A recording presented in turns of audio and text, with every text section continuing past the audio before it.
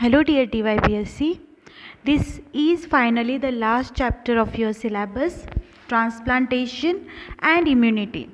Now we almost have completed our syllabus and after this uh, point or this uh, chapter we are going to also conclude the syllabus. So up till now we have seen how our immune system works how it protects us from the foreign particle or foreign antigen which might be harmful for us which might may get us a disease. So here this concept of transplantation we all know what is it. So how this transplantation is possible if our body is so alert or it is so much active that it can't even let a small antigen to enter in body then how our system how our system accepts a large organ or a tissue or a cell from any other person um, how it accepts it how it don't release the immune response and if it releases then how the immune response is being suppressed. These things we are going to learn in this chapter. The chapter's name is transplantation and immunity this chapter is uh, i would say in uh, simple language this chapter is very very uh, very much of simple to understand not much complex. And uh, that is why if you know the basics of immunology then you will easily understand this chapter. So just ki- like kindly just give a full concentration in this lecture and you will be done you don't even need to like uh, revise it or anything you will understand it very easily so now starting with the introduction of the transplantation transplantation है हम ये term हमने day to day life में भी देखी है सुनी है एंड हमारे अराउंड ऐसे केसेस भी है जिनका ट्रांसप्लांटेशन हो चुका है so here, transplantation is any act of transferring a tissue, a cell, or organ from one side to another. Means, ऐसे नहीं है कि ट्रांसप्लांटेशन हम किसी और से ही ऑर्गन लेंगे या किसी और से ही कुछ ब्लड लेंगे या कुछ लेंगे। हम खुद भी अपना अपने बॉडी में से कुछ चीज़ ट्रांसप्लांट करते हैं। यही हम इस चैप्टर में सीखने वाले हेयर ट्रांसप्लांट भी होता है, आपने सुना होगा तो वो ऑटो मतलब खुद के बॉडी का पार्ट है और हम खुद को ही दे रहे हैं। That is what we called as the autograft ये सब चीज़ें हम आज देखने वाले हैं। तो transplanting means what simply transferring so what we transfer we transfer some cell we transfer some tissue we transfer some organ from one side to another it may be from person to person or it may be within the same individual. Now what the organ or the cell or the tissue which is been transplanted called graft. Now what is graft? Graft means what? The implanted cell or the tissue or organs which is going to be transplanted is the graft. Okay? Then the donor donor means one who receives that graft one who receives that organ or tissue or cell recipient or the host means one what who donates the graft. It may be uh, we ourselves or it may be the another person depends on the situation. Now classification of graft very very simple concept. Here only you can see in the diagram that how the grafts is being classified. Now i will show you firstly sorry i will show you okay sorry. हाँ। So I will show you the diagrammatically और in the simple language I will show you the introduction how the graft is done now suppose it is a individual one now it is represented by the mice okay so this is the individual one अगर हमने इसी का graft इसी में डाला okay for example skin अगर कहीं injury हो हो रही है या कहीं डीप इंजरी है, वहाँ पे रिपेयरिंग नहीं हो रहा साइंस आ रहे हैं और हमें कैसे भी करके उस इंजरी को ढकना है। तो हमारी जो डॉक्टर्स है या सर्जन है, वो क्या करेंगे? हमारे थाई का या हमारे किसी बॉडी पार्ट का एक स्किन जो है, वो लेंगे और वहीं पे ट्रांसप्लांट करेंगे मतलब वहीं पे लगा देंगे जहाँ पे इंजरी है। तो ये क्या हुआ? ऑटोग्राफ्ट। इस केस में क्या होता है? रिजेक्शन नहीं होता। दैट मीन्स कि जो ग्राफ्ट है इजीली हमारी बॉडी एक्सेप्ट करती क्योंकि मैंने आपको सिखाया था, हमारे बॉडी सेल्स को ये सिखाया जाता है कि वो हमारे अपने सेल्स को आइडेंटिफाई करे, उनके अगेंस्ट कोई इम्यून रिस्पॉन्स जनरेट ना करे। ये हमारे सेल्स को सिखाया जाता है। तो ये टाइप ऑफ़ ग्राफ्ट कौन सा हुआ? Allograft sorry autograft auto and graft okay auto जब वर्ड आता है ना, तब हमें पता है वो होता है सेल्फ। और सेल्फ, यानी फिर आपको एग्जांपल दो तो कोई चीज़ ऑटोमेटिक है मतलब क्या कि वो खुद ही खुद काम करती या खुद करती, जो भी हो, स्टार्ट खुद हो जाती उसको लाइक like किसी एक्सटर्नल फोर्स की ज़रूरत नहीं पड़ती। उसको जब स्टार्ट होना है, वो हो जाती है। तो यही यहाँ पे है। ऑटोग्राफ्ट मतलब क्या कि कोई ग्राफ्ट जो हमारे ही बॉडी में से निकाल के हमें ही लगाया है then that is the autograft okay so in this graft there is probable और there is actually no rejection मतलब हमारी बॉडी एक्सेप्ट कर लेती है, क्योंकि उसको पता है कि ये अपने सेल है इसको क्यों रिजेक्ट कर रिजेक्ट करना? ये तो अपने बॉडी का पार्ट है so it doesn't produce any kind of immune response as we know our हमारी body generally is very active it knows कि हमारे बॉडी में मतलब हमारे बॉडी सेल को इतने वो अलर्ट रहते हैं कि थोड़ा सा भी डस्ट पार्टिकल हमारे नाक में एंटर हो तो हम स्नीज करने लगते हैं। अगर फैरेंक्स लैरेंक्स में एंटर हो तो हम कफ करने लगते हैं। तो इतनी अलर्ट बॉडी सिस्टम इतना बड़ा ऑर्गन या इतनी बड़ी टिश्यू कैसे एक्सेप्ट कर लेती है? तो ये ऑटोग्राफ में इस चीज़ की ज़रूरत ही नहीं पड़ती बिकॉज़ हमारी बॉडी को ऑलरेडी पता है कि ये अपना सेल है, ये अपना पार्ट है okay so this is the autograft now the second graft is the isograft okay now it is again represented by the mice तो आइसोग्राफ्ट का मतलब क्या? आइसो मतलब क्या होता है? Same okay? तो यहाँ पे कैसे सेम तो जेनेटिकली सेम जेनेटिकली ओके तो जेनेटिकली सेम हुए मतलब क्या? ट्विंस आपको पता है मोनोजाइटिक ट्विंस ट्विंस ब्रदर या ट्विन सिस्टर और ट्विन ब्रदर सिस्टर। तो ये ट्विन जो होते हैं, अगर एक ट्विन ने दूसरे ट्विन को, अगर twin I am talking about twin not siblings twin okay अगर एक ट्विन ने दूसरे अपने ट्विन को कुछ ऑर्गन दिया, कुछ टिश्यू दिया, कुछ सेल दिया तो उसकी बॉडी एक्सेप्ट कर लेती है वो चीज़। क्योंकि ये दोनों मोनोजाइटिक ट्विन हैं मतलब क्या कि वो एक ही जगह पे एक ही मदर से बिलोंग करते हैं ऊपर से वो एक एक ही सिस्टम के हैं ओके मोनोजाइटिक है वो मतलब क्या कि वो एक ही प्लासेंटा में थे उसकी वजह से क्या वो एक ही जाइगोट में थे इसकी वजह से क्या है कि उनकी system is same I would say rather same यहाँ पे रिजेक्शन प्रोबेबली 99 परसेंट नहीं होता ओके? सो so, इसमें क्या होता है?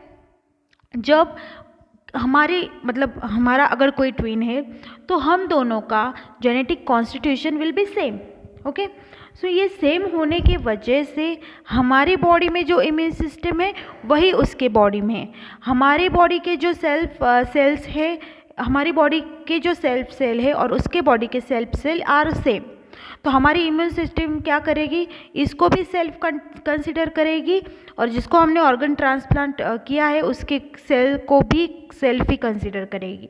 सो so, उसके अगेंस्ट कोई इम्यून रिस्पॉन्स जनरेट नहीं होगा। So this is the isograft okay the third graft is the allograft allograft allo का जनरली मीनिंग होता है कि डिफरेंट सिंपल लैंग्वेज में डिफरेंट। सो एलो का एलोग्राफ्ट का मतलब क्या? कि हम दो पर्सन हैं okay I am talking about human okay हम दो पर्सन हैं, आमने सामने ओके okay? तो हम एज ए इंडिविजुअल हम सब ह्यूमंस हैं। हम दोनों भी ह्यूमन हैं बट हम दोनों डिफरेंट ह्यूमन हैं। हम पर्सन डिफरेंट है। हमारा जेनेटिक कॉन्स्टिट्यूशन डिफरेंट है। हमारे जीन्स डिफरेंट है। तो हमने जो देखा था कंसेप्ट एंटीजेनिक डिटर्मिनेंट्स का तो वही यहाँ पे होता है। तो जब हम अगर किसी पर्सन को ऑर्गन डोनेट करेंगे तो वो पर्सन की body will take it as a antigen because हर इंसान का जो है जेनेटिक कॉन्स्टिट्यूशन डिफरेंट है तो उसके सेल्स भी थोड़े वैरी करेंगे, उसका ऑर्गन भी थोड़ा वैरी करेगा। तो इसकी वजह से क्या होगा, उस पर्सन के अंदर इम्यून रिस्पॉन्स जनरेट होगा, वो ऑर्गन रिजेक्ट हो जाएगा या उसको डिस्ट्रॉय किया जाएगा। ये जनरली कैसे होता है? जनरली एडीसीसी जो हमने लास्ट पीपीटी देखी थी एडीसीसी पाथवे उसी से होता है न्यूट्रलाइजेशन किया जाता है। तो उसकी बॉडी डिस्पाइट हम दोनों ह्यूमंस हैं, वो पर्सन हमारा ऑर्गन एक्सेप्ट नहीं कर पाएगा। Why because of the immune system now this thing कि ऑलोग्राफ्ट जो है अगर थोड़ा बहुत सिमिलैरिटी हो तो कुछ हम ड्रग्स वगैरह का यूज़ करके you can do the rejection का अवॉइड कर सकते हैं हम। But generally about we can say most probably वो होता है रिजेक्शन एलोग्राफ्ट में भी। Now the last one is the xenograft now you can see here ये दोनों कंप्लीटली डिफरेंट स्पेसिस है. फॉर एग्ज़ाम्पल ह्यूमन माइस या ह्यूमन काऊ ये सब दोनों एकदम डिफरेंट है. इनका जेनेटिक से मतलब जेनेटिकल कॉन्स्टिट्यूशन इनका किसी भी एंगल से सिमिलर नहीं है. They are the complete different individuals इसकी वजह से क्या होगा? जब अगर हमने ट्राई भी किया कि इसके बॉडी में हमने कोई ऑर्गन ट्रांसप्लांट किया for example cells RBCs transplant की या फिर uh, कोई बॉडी सेल है वो ट्रांसप्लांट करना चाहा तो इसकी बॉडी उसको एक्सेप्ट नहीं करेगी रिजेक्ट करेगी इनको किल करेंगी ओके सो so, यही होता है the I xenograft which is the last type of graft तो जीनोग्राफ्ट में क्या होता है फिर? जीनो मीन्स वॉट एलियन और स्ट्रेंजर तो एलियन और स्ट्रेंजर का अगर हम मतलब मीनिंग देखें तो क्या होता है? कम्प्लीटली डिफरेंट जो हमसे कहीं दूर दूर तक हमारा नाता नहीं है उससे। तो ऐसे इंडिविजुअल में अगर हमने ट्रांसप्लांटेशन करने का ट्राई भी किया it would not get succeed तो ये कब होता है? जनरली अगर हमें कुछ छोटे पार्ट्स चाहिए लाइक ब्लड वेसल डैमेज है तो उनको अगर हमें ब्लड वेसल में कुछ यू you नो know, ये करना है ट्रांसप्लांटेशन करना है तो वैसे छोटे छोटे ट्रांसप्लांटेशन ऐसे होते हैं जो भी बहुत यू you नो know, बहुत मेजरमेंट्स ले मेजर्स लेके करने पड़ते हैं क्योंकि rejection is a very common phenomenon क्योंकि हमारी बॉडी ऑब्वियस है कि वो एक्सेप्ट नहीं करने वाली। उसको हमें मनाना पड़ता है या उसको कुछ ट्रीटमेंट देनी पड़ती है, तभी जाके हमारी बॉडी वो एक्सेप्ट कर पाती है। So these are the types of grafts अभी we are going to see the different type theoretical हम देखने वाले हैं। तो ये सिंपल लैंग्वेज में था तो ऑटोग्राफ क्या होता है? The self tissue transfer from one body side to to another मतलब हमारे एक बॉडी पार्ट में से हमने दूसरे बॉडी में कुछ स्किन या जनरली हम स्किन या हेयर ट्रांसप्लांट करते हैं तो that is the autograft then the antigen present in the autograft is same as the present that is present in our body that is why there is no rejection so immune response will recognise that autograft as a self antigen okay? And the no immune response will be generated and the autograft will survive throughout the life it will not get rejected it will not get damaged और वो वैसे की वैसा ही रहेगा accept हो जाएगा body में there will be no issue of rejection तो एग्ज़ाम्पल आपको यहाँ पे दिए गए हैं so the first one is the transferring the healthy tissue to the burn as I told कहीं डैमेज हो गया स्किन तो वहाँ पे ट्रांसफरिंग हम कर सकते हैं दूसरे बॉडी पार्ट का skin then use of healthy blood vessel as I told कि कहीं पे वेसल्स डैमेज हुए हैं तो ब्लड वेसल्स हम ट्रांसप्लांट कर सकते हैं. Plastic surgery of skin is very common तो वो भी हम करते हैं तो that is one of the example now the isograph diagram में ही दिखाया है कि ट्विंस आइडेंटिकल ट्विंस हो तभी एक पॉसिबल है। तो in this type between the genetical identic genetically identical individuals में ये हो पाता है। Isograft the histo histocompatibility antigens are identical hence the graft survives and not rejected क्योंकि इनका जेनेटिक कॉन्स्टिट्यूशन सेम है और उनका एम जो है major histocompatibility complex it is also similar that is why don't get rejected क्योंकि आपको पता है, अगर एंटीजन या कुछ प्रोटीन जो सेल्फ नहीं होते और सेल्फ होते भी है तो वो एम से एक्सप्रेस कर देती है सेल के रिसेप्टर के फॉर्म में एंड वो फिर हमारी टी सेल्स आइडेंटिफाई कर लेती है। तो यहाँ पे वो नहीं हो पाता बिकॉज़ एमएचसी तो सेम ही है दोनों की तो दैट इज़ वाई और एंटीजन्स भी सेम है। Then okay now the next thing is allograft as I told allograft मतलब क्या? Genetically different members of the same species what the genetically different member of the same species that is why ये grafting जो है वो reject हो जाती है. Then histocompatibility antigens are dissimilar has the immune response is generated so the immune response is generated because histocompatibility genes are different okay अब इसका example आपको पता है kidney transfer from one person to another very common example then the xenograft when the tissue is transferred between the two completely different species मतलब कोई kingdom Animalia and Animalia में ही अगर कोई स्पेसिस ह्यूमन है एंड कोई fox है तो obviously it is not possible that हमारी बॉडी फॉक्स का एंटीजन या ग्राफ्ट ले, या तो हमारा ग्राफ्ट फॉक्स या माइस में हम ट्रांसप्लांट करें, वो एक्सेप्ट करें, ऐसा पॉसिबल नहीं है। तो इसलिए यहाँ पे रिजेक्शन होता ही है। So this is about it in this slide we have seen what types of grafts are there and what types of rejection like which grafts are being rejected easily and which are not and in the next lecture we are going to see और learn the different type of graft rejection which takes place in our body और generally ये yellow grafts में हम देखने वाले because हम day to day life में जो है एलोग्राफ्टिंग ही परफॉर्म करते हैं, आपको पता होगा। Kidney transplantation because isograft sorry autograft में प्रॉब्लम होती नहीं है। तो ऑब्वियस है कि उसमें नहीं होगा रिजेक्शन आइसोग्राफ्ट्स में भी नहीं होता रिजेक्शन बिकॉज़ वो ट्विंस होते हैं तो और एलोग्राफ्ट जो है, उनमें ही रिजेक्शन होता है।